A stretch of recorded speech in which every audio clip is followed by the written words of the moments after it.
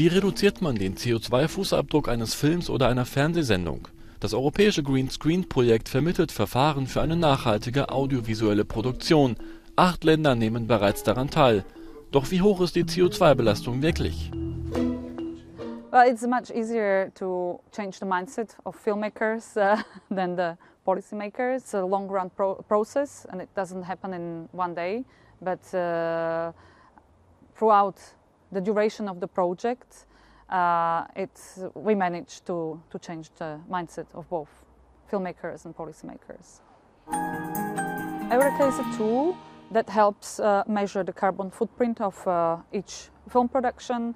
Uh, it's uh, a tool that is also available at no cost. Also, the uh, Audiovisual Fund, the Slovak Film Commission, offers some kind of financial bonus, but it's a pretty new one uh, for the filmmakers that decide to uh, shoot in according to the guidelines.